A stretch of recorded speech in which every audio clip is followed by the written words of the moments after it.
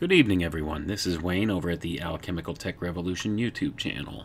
I apologize, I haven't posted anything in a couple of weeks here. It's been a very busy and crazy time, uh, both personally and, uh, you know, in the, the sphere of uh, uh business and, and things like that as well.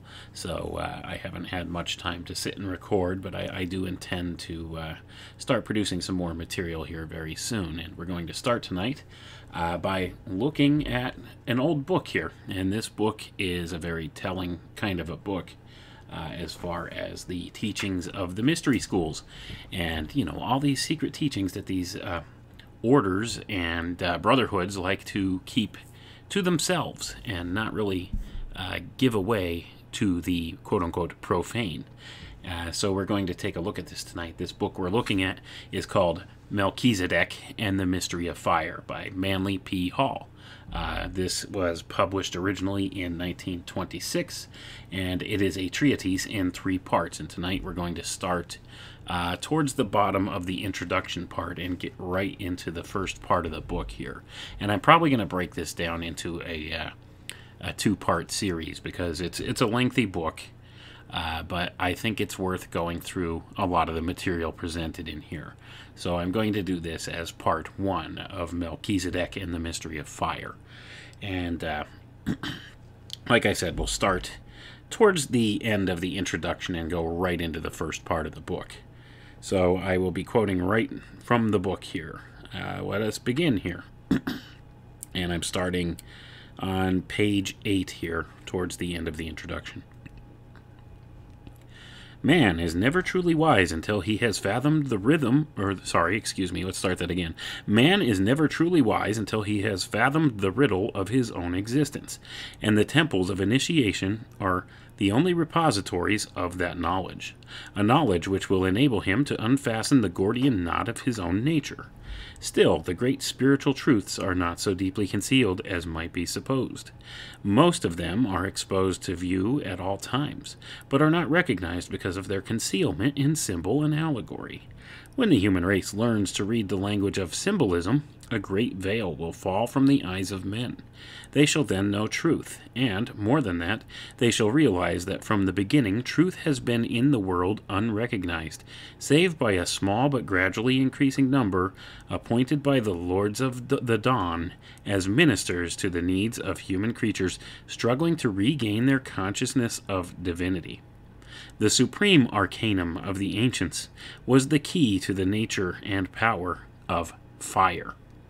From the day when the hierarchies first descended upon the sacred island of the polar ice cap, it has been decreed that fire should be the supreme symbol of the mysterious, abstract divinity which moves in God, man, and nature.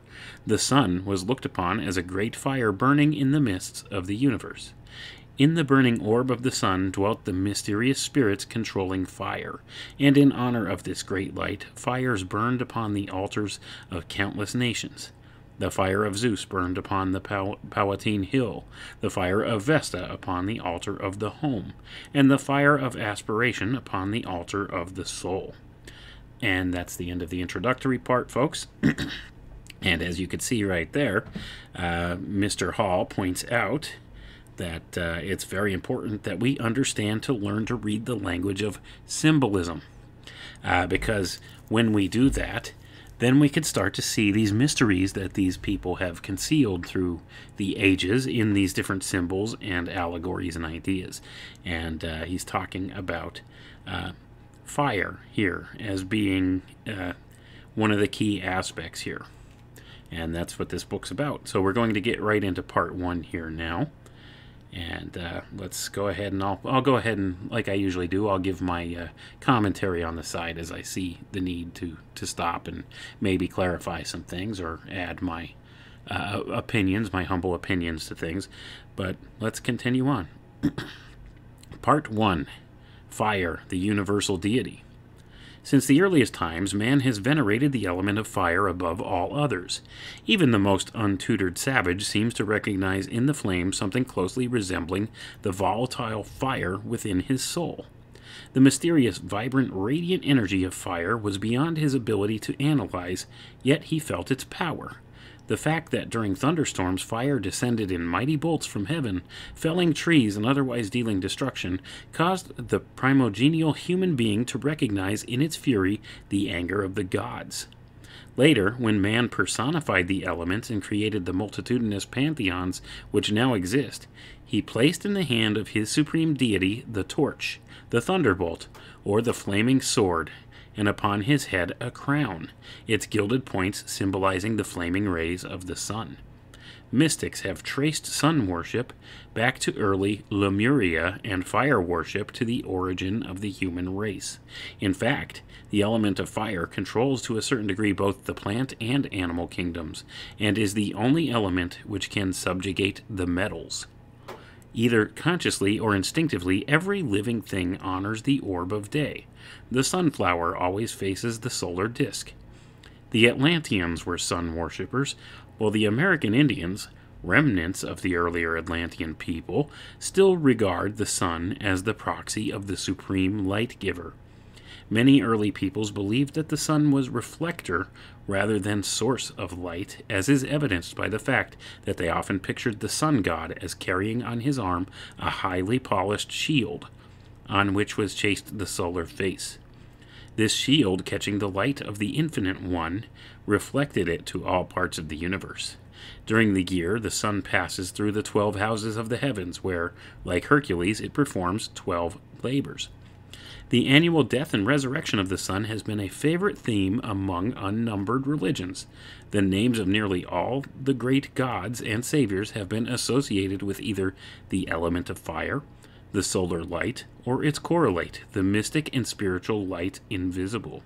Jupiter, Apollo, Hermes, Mithras, Bacchus, Dionysus, Odin, Buddha, Krishna, Zoroaster, Zarathustra, Fohi, Io, Vishnu, Shivna, Agni, Balder, Hiram Abiff, Moses, Samson, Jason, Vulcan, Uranus, Allah, Osiris, Ra, Bel, Baal, Nebo, Serapis, and King Solomon are some of the numerous deities and supermen whose symbolic attributes are derived from the manifestations of the solar power and whose names indicate their relationship to light and fire.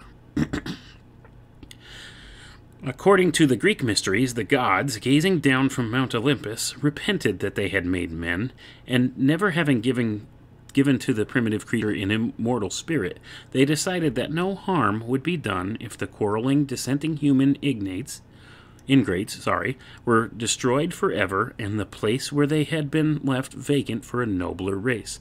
Discovering the plans of the gods, Prometheus, in whose heart was a great love for struggling humanity, determined to bring to mankind the divine fire, which would make the human race immortal so that not even the gods could destroy it. So Prometheus flew to the home of the sun god and, lighting a tiny reed with the solar fire, he carried it to the children of the earth, warning them that the fire should always be used for the glorification of the gods and the unselfish service of each other. But men were thoughtless and unkind. They took the divine fire brought them by Prometheus and used it to destroy one another. They burned the homes of their enemies, and with the aid of heat they tempered steel, making swords and armor. They grew more selfish and more arrogant, defying the gods, but they could not be destroyed, for they possessed the sacred fire.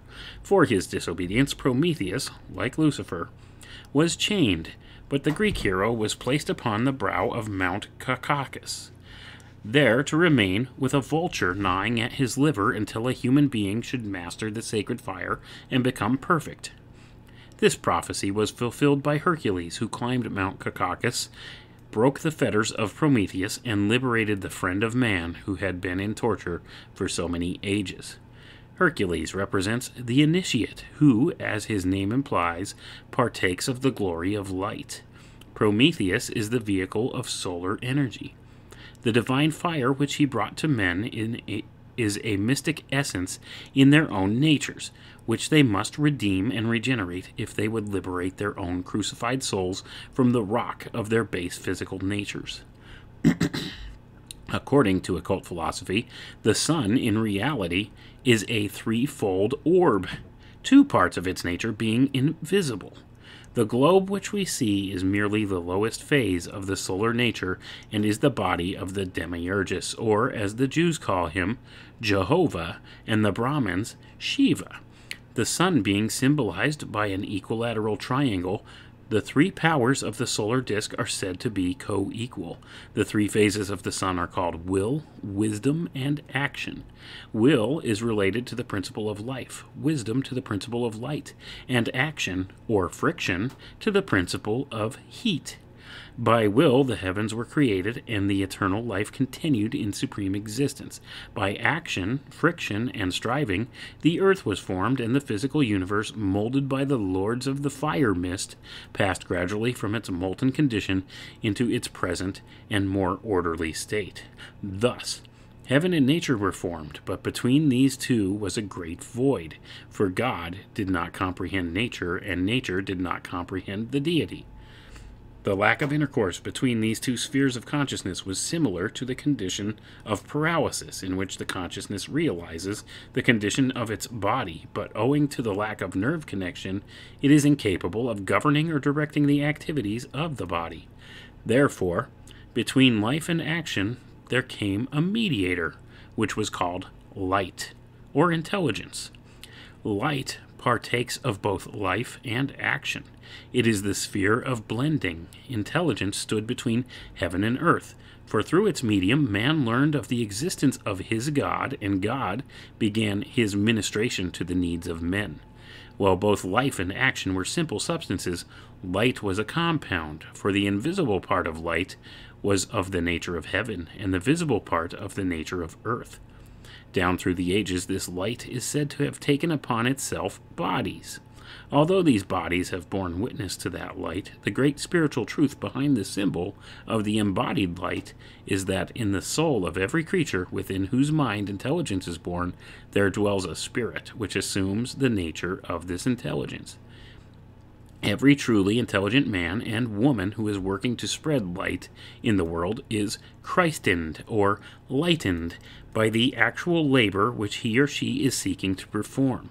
The fact that light, and it says in parentheses here, intelligence, partakes of the natures of both God and the earth is proved by the names given to the personifications of this light, for at one time they are called the sons of men, and at another time the sons of God. I'm going to pause there, folks. A lot of information in here, huh? So, basically, what uh, Mr. Hall is saying here is he's kind of uh, reiterating some things that we've talked about in the past. He's talking about, uh, you know, these these different uh, uh, principles of uh, demiurgus uh, which he equates to Jehovah, and that that's an interesting thing. And we'll we'll go down that line of thought here later, and we'll see just what it is that many of these people in these brotherhoods think of Jehovah, or what we in the Christian world would consider to be God or the Creator, and we'll see what they have to say about that. And we also see that he uh, equates the Holy Trinity here uh, to this idea of will, wisdom, and action, which is very similar to what uh, many of what they would call the quote unquote Illuminati had referred to as uh, uh, the, the principles of um, will, action, and uh, what's the other one I'm missing here? It's, it's the same basic idea. Oh, thought, thought, action, and will. Uh, those are the, the holy trinity of uh, those who really go down down the darker paths of these things. So, and that's what we would call from the orders of Illuminati or, or whatever you want to call that. Uh, it's kind of become a catch-all phrase for many of these things, but uh, it was an actual secret society, and it was known at the time. But uh, let's get back to the reading here. So we left off here where he says that the personifications of this light, for at one time they're called sons of men, and at another time the sons of God. So let's continue on. The initiate in the mysteries was always instructed concerning the existence of three sons. The first of which, the vehicle for God the Father, enlightened and warmed his spirit. The second, the vehicle of God the Son, unfolded and broadened his mind. The third, the vehicle of God, the Holy Spirit, nourished and strengthened his body. Light is not only a physical element, it is also a mental and spiritual element, and in the temple, the disciple is told to revere the invisible sun even more than the visible one, for every visible thing is only an effect of the invisible or causal, and as God is the cause of all causes, he dwells in the invisible world of causation. Gonna pause there, folks. That's important. Let's pay attention to this concept here because this is a, a very deep spiritual truth. Uh, you know, ha- however, uh, Mr. Hall intends it here, this is a truth. Um, you see, it says here that uh, for every visible thing, it's only an effect of the invisible or causal.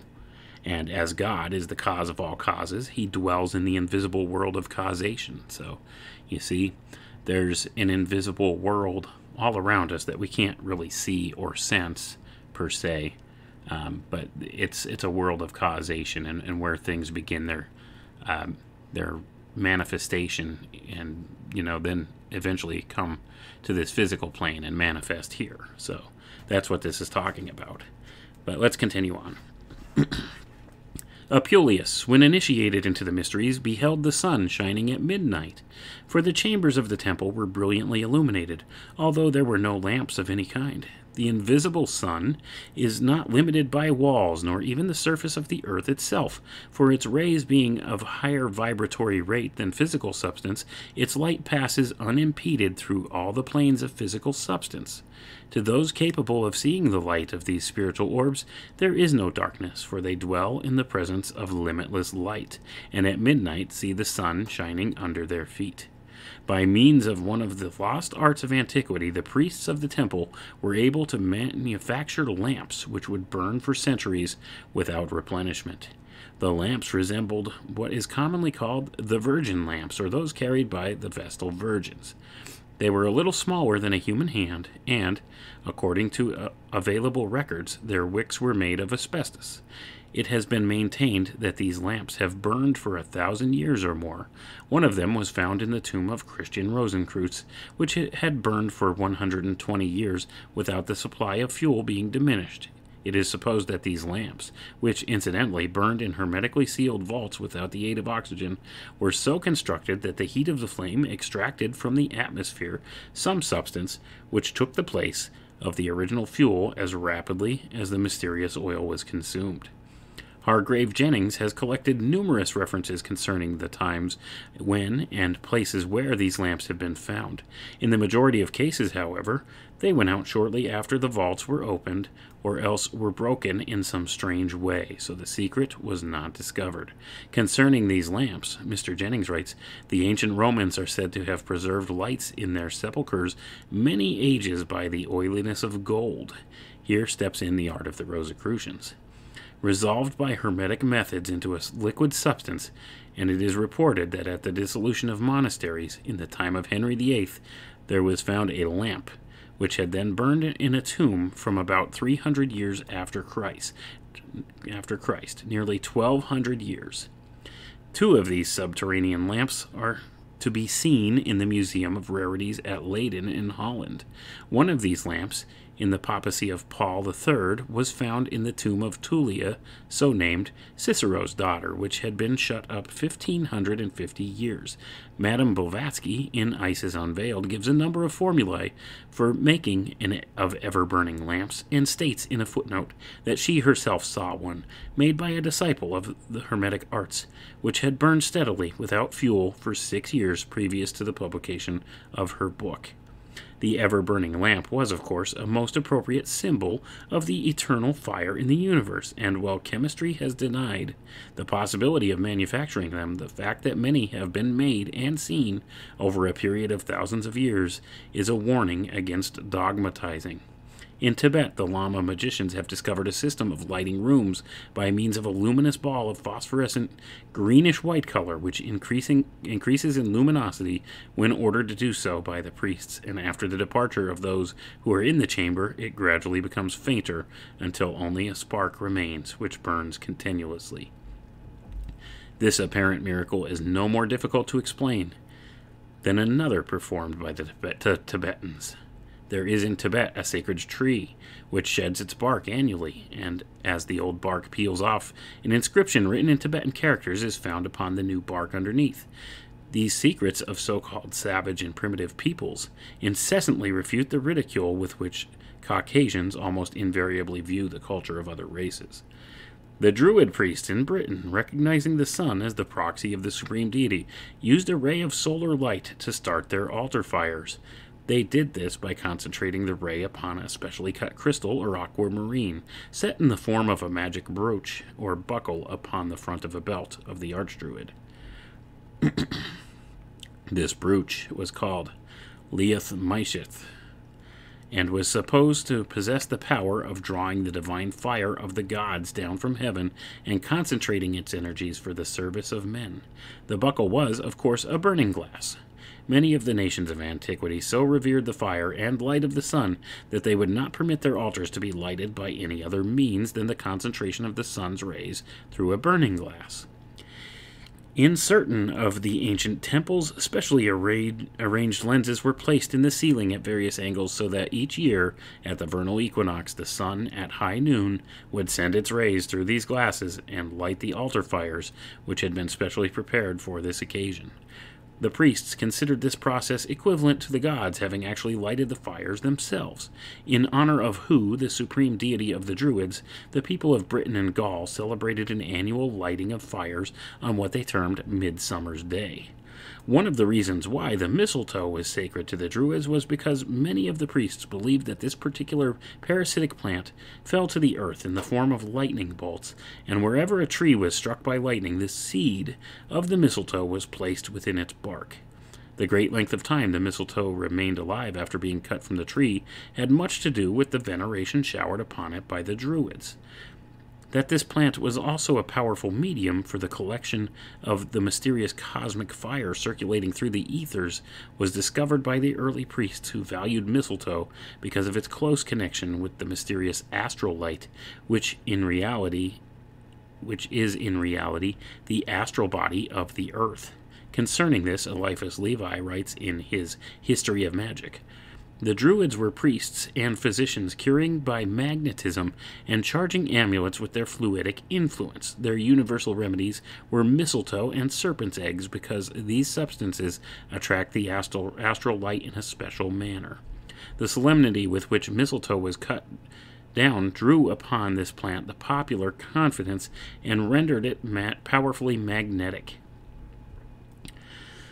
The progress of magnetism will someday reveal to us the absorbing properties of mistletoe. We shall then understand the secret of those spongy growths which draw the unused virtues of plants and become surcharged with tinctures and savors. Mushrooms, truffles, gall on trees, and the different kinds of mistletoe will be employed with understanding by a med- medical science, which will be new because it is old. Certain plants, minerals, and animals have been held sacred among the nations of the earth because of their peculiar sensitiveness to the astral fire.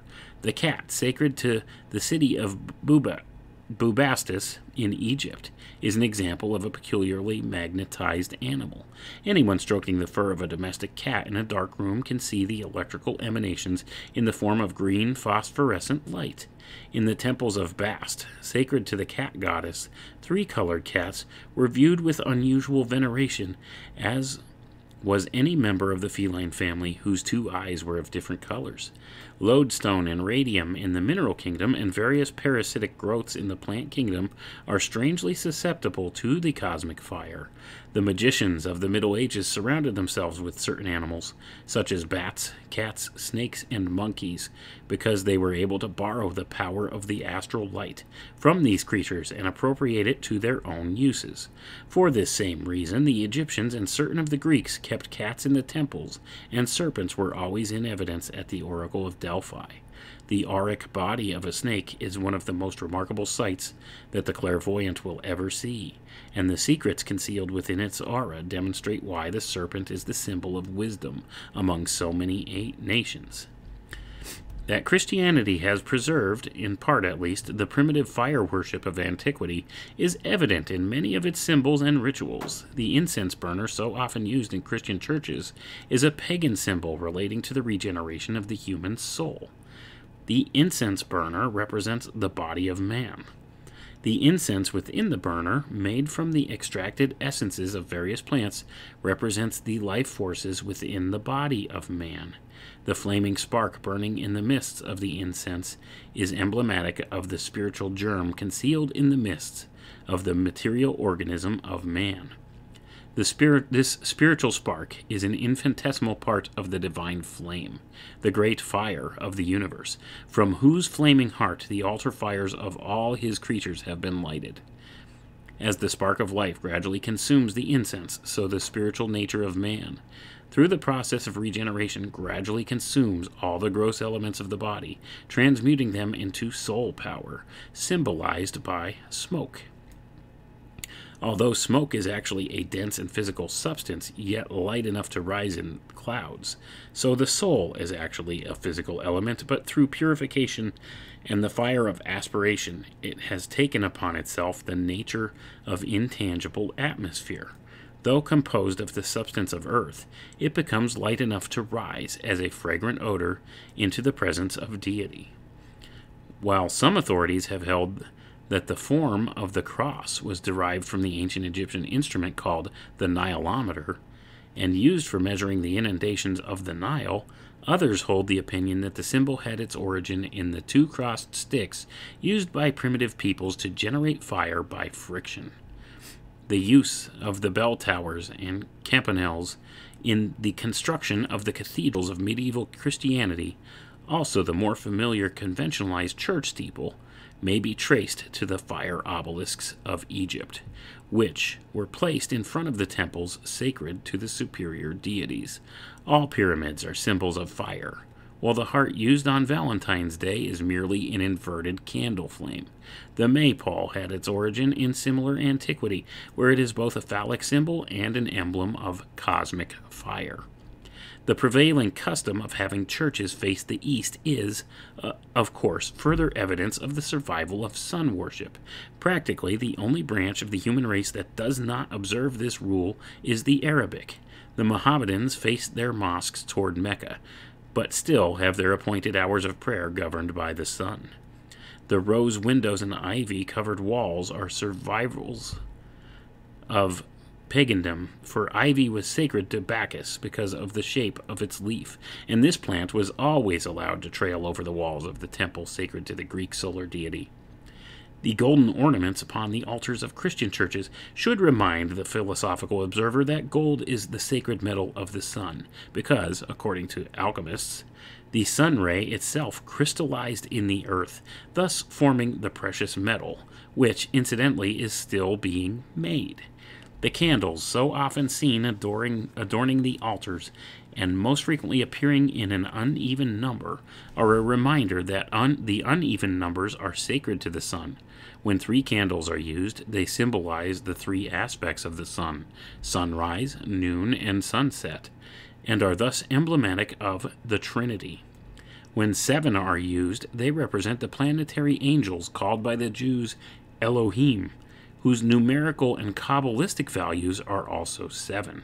When the even numbers 12 or 24 appear, they represent the signs of the zodiac and the spirits of the hour of the day, called by the Persians the Izeds. When only one light is shown, it is the emblem of the Supreme Invisible Father, who is one, and the little red lamp ever burning over the altar is an offering to the Demiurgus, Jehovah, or the Lord Builder of Forms. What oil is to the flame, blood is to the spirit of man. Therefore, oil is often used in anointing, for it is a fluid sacred to the solar power. Because oil contains the life of the sun, it is used in large quantities in far northern lands where it is necessary to generate an abundance of body heat.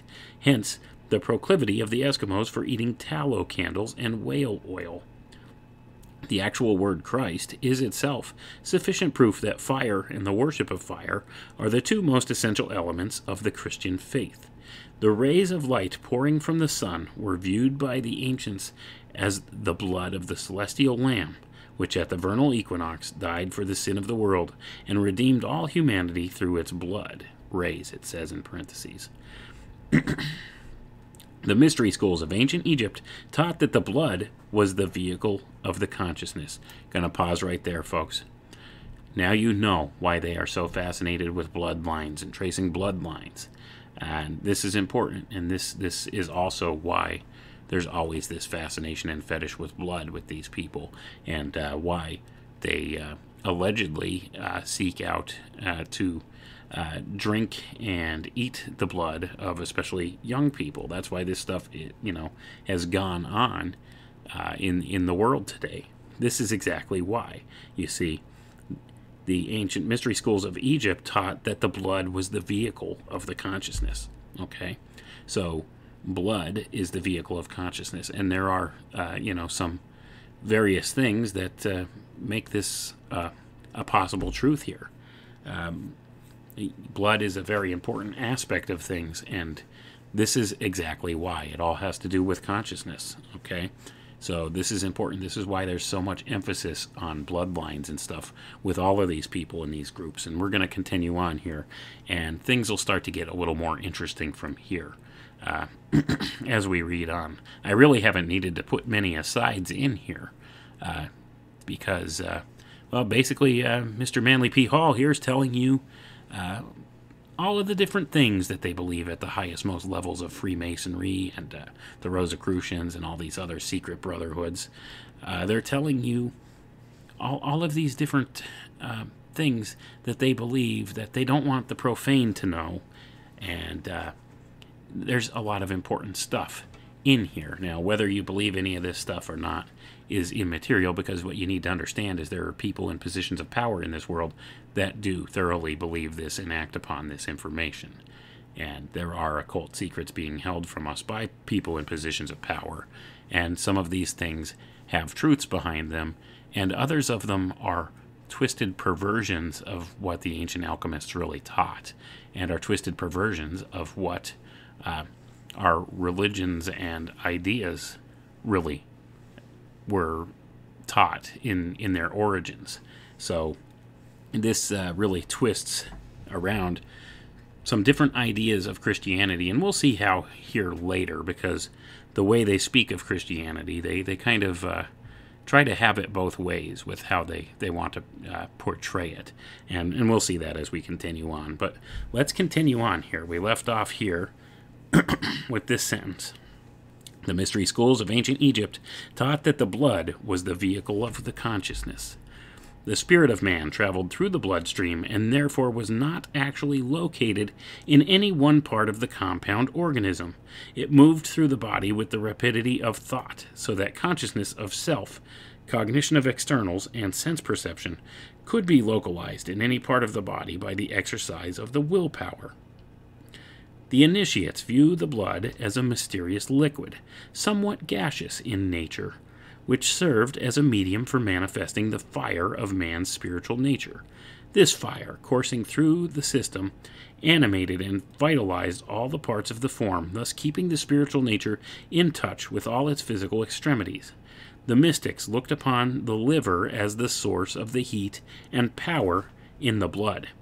Hence, it is significant that the spear of the centurion should pierce the liver of Christ, and the vulture should be placed over the liver of Prometheus to torment him throughout the ages. Gonna pause there again, folks. This is also an important idea. They're, they're talking about the liver, okay? You're going to, going to need to pay attention here because there's going to be some pretty telling things that come about later, especially when we do part two of this reading and uh, you're going to be very surprised uh, some of the information that they've kept hidden from us for so long and you know what actually it entails let's continue on Occultism teaches that it is the presence of the liver which distinguishes the animal from the plant, and that mystically certain small creatures having power of motion but no liver are actually plants in spiritual consciousness. The liver is under the control of the planet Mars, which is the dynamo of this solar system and which sends a red animating ray to all the evolving creatures within this solar scheme.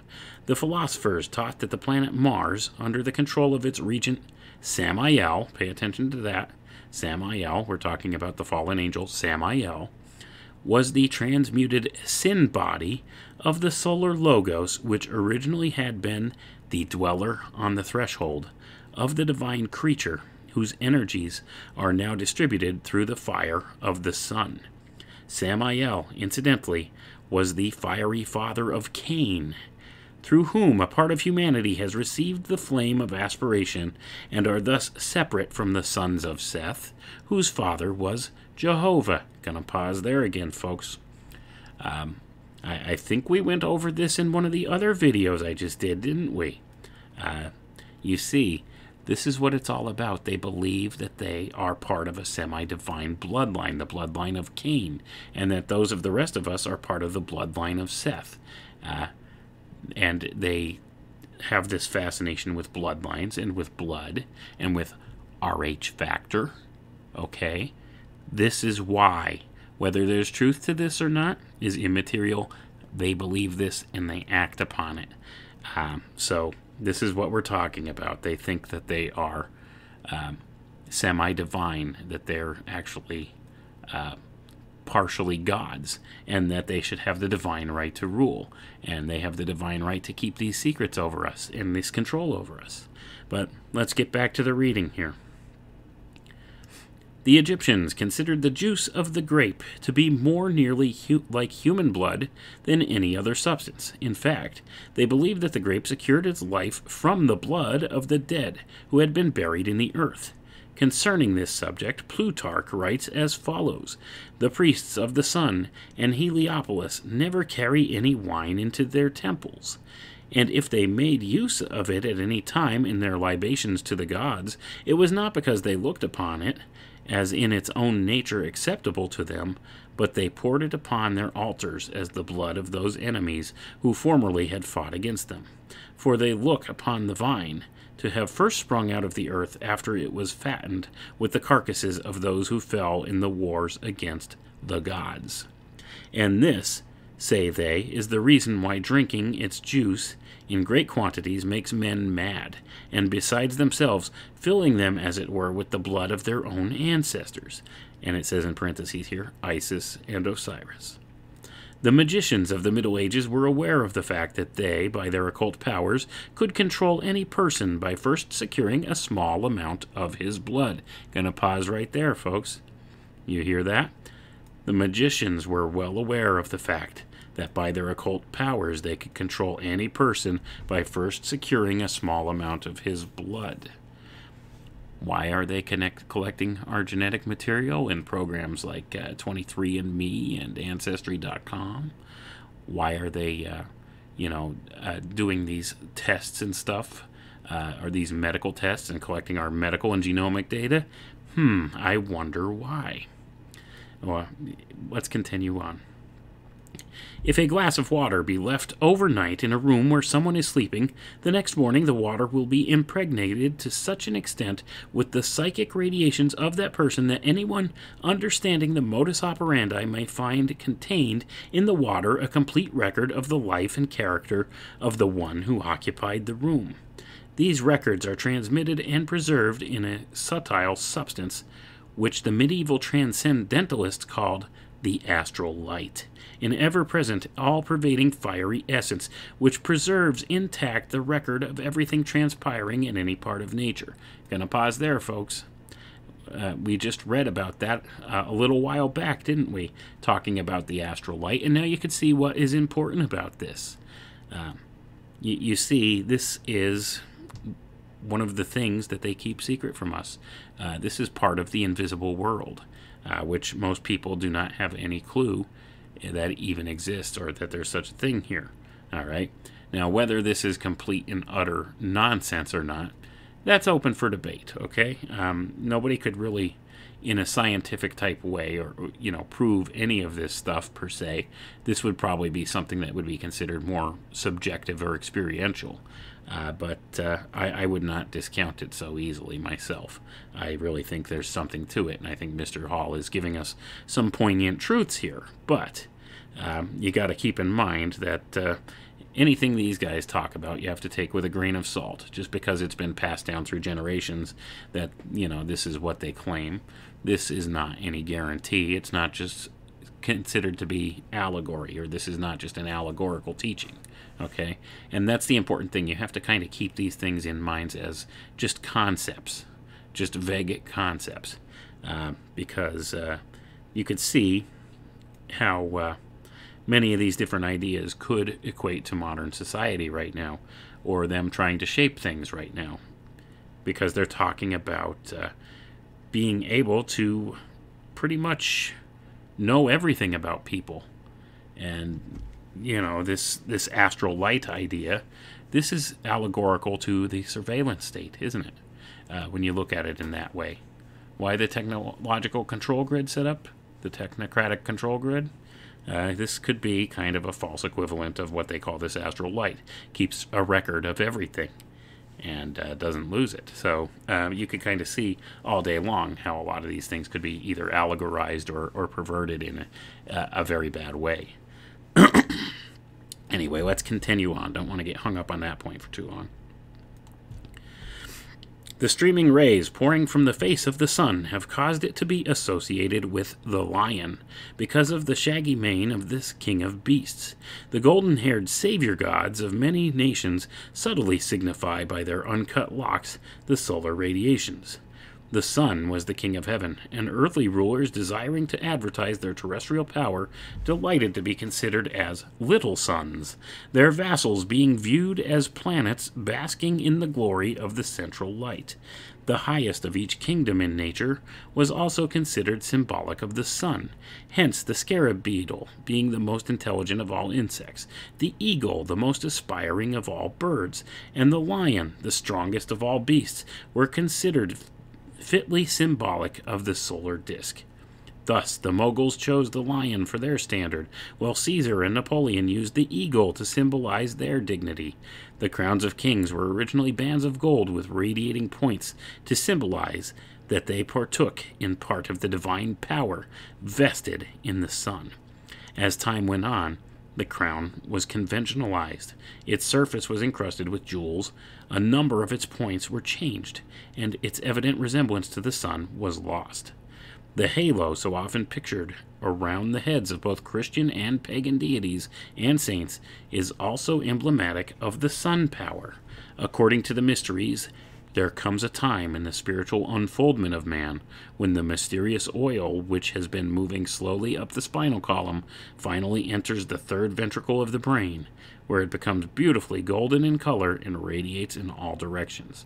This radiance is so great that it cannot be limited by the skull, and it pours out from the head, especially from the back of the neck, where the uppermost ver- vertebra of the spine articulates with the condyles of the occipital bone. It is this light pouring out in a fan shaped aura around the posterior part of the head that has given rise to the halos of saints and the nimbus so often used in religious art. This light signifies human regeneration, and it forms part of the auric bodies of man. These auras have greatly influenced the color and form of the garments used in religious ceremonials the robe of blue and gold, which Albert Pike speaks of, and the vestments of the different degrees in the hierarchies of all religious orders are symbolic of these invisible emanations, forms which surround man, their colors changing with his every thought and feeling. By means of these auras, the priests and philosophers of the ancient world chose those disciples who would do credit to their teachings the robes of glory of the high priest of Israel are all symbolic, as Josephus, with his Oriental instruction, has shrewdly noted. The plain white linen symbolizes the purified physical nature. The many colored garments represent the astral body, the blue raiment, the spiritual nature, and the violet, the mind, for it is the color made up of two shades. One spiritual and the other material. Going to pause right there, folks. We're talking about purple being the combination of blue and red, the masculine, the feminine, the electric, the magnetic, combined together. This is an important concept, and uh, you know we'll we'll get a little more into that later, I'm sure. Let's get back to the reading. In the Egyptian mysteries, it was not uncommon to show the rays of the sun ending in human hands. One of the chairs recently found in the tomb of Tutankhamun showed a sun with its rays ending in human hands. Among the ancients, the hand was the symbol of wisdom, because it was used to raise the fallen, and no man is so low in his estate as an ignorant man. The physical proclivities of the sun and its water drawing power were used to symbolize a spiritual process in which the divine nature of man was raised or illuminated and drawn upward by the heat of the sun these emanating rays spreading the threefold spiritual power of as love, wisdom, and truth. Okay, and we're going to pause right there, folks, because that's the end of part one of this book. And I may actually take it out uh, to three parts because it is, you know, broken down in three parts here. And we explored an awful lot of these ideas uh, just in the first part alone, talking about fire as the universal divinity here. Okay, so they're equating this element of fire uh, to, um, well, to the creator and to creation itself, and being the thing which powers uh, basically all of our religious and philosophical drives. Uh, and that is why they call themselves the philosophers of fire.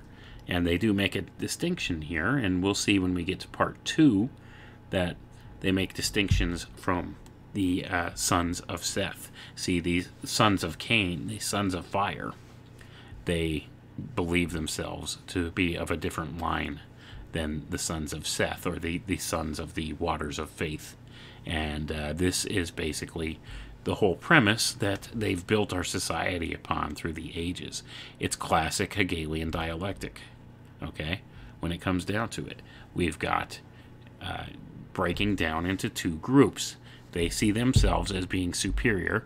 They have more aspirations, and they view those of us that they consider to be the sons of the waters of faith to be uh, complacent. See, that's the thing. And they've further driven this divide through the ages. They see, they, they view themselves as having a sort of moral superiority because of uh, this idea that they have more ambition than the rest of us.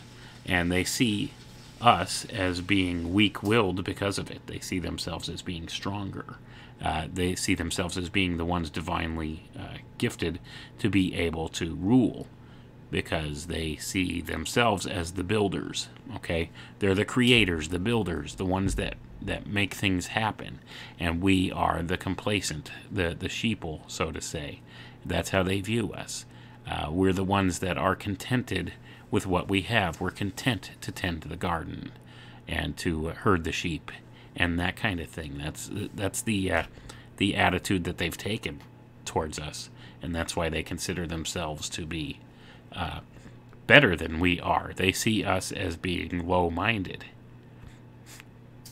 They see us as being contented to do uh, these these lower works, whereas they have more ambition and they want to do greater things, whereas we are uh, if we are parts of the, the sons of Seth, the sons of uh, the waters of faith, the, the, the people that they consider these sons of the waters of faith tend to be more contented in life.